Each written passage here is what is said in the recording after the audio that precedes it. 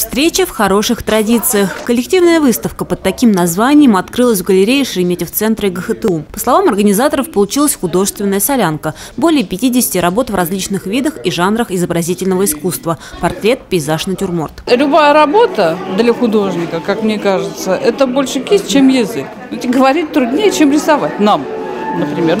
Вот.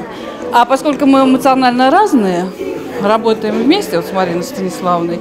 И вот показать эту разницу характеров, допустим, да, при внешнем, может быть, сходстве характеров, опять же.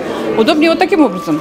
На выставке можно увидеть работы Марины Паниной, Сергея Родина, Марины Тирановой и Елены Шуваловой. В таком составе художники в пределах одной галереи собрались впервые. Всех их объединяет «Альма-Матер». Много лет назад они закончили Ивановское художественное училище имени Малютина и теперь готовы показать плоды своего творчества. Ну, вообще больше вдохновляет, конечно, пейзаж.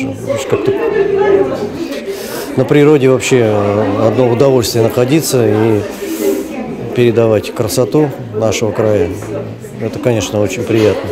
Натюрморт все-таки немножечко так по суше, но тоже, в общем-то, интересные постановочки можно. Елена Шувалова, художница из Костромы, более 15 лет занимается иконописью. Но здесь, на выставке, она представила свои акварельные работы. Иконопись, она такая очень спокойная, умиротворенная. То есть там сидишь и крапишь, и крапишь в тишине, в молитве. Но эмоции, естественно, захватывают. И тогда уже перехожу на вот на такую вот на вольную живопись, на акварель, на масло. Это чтобы просто выплеснуть какие-то свои эмоции, которые накопились в тишине, так сказать. Большинство картин – это обращение к человеку, его личным переживаниям, эмоциям и мыслям. А еще эта выставка – способ подарить посетителям хорошее настроение в эту ненастную осеннюю погоду, когда на улице кругом слякоть и грязь. Любовь Почерникова, Антон Осипов, РТВ Иванова.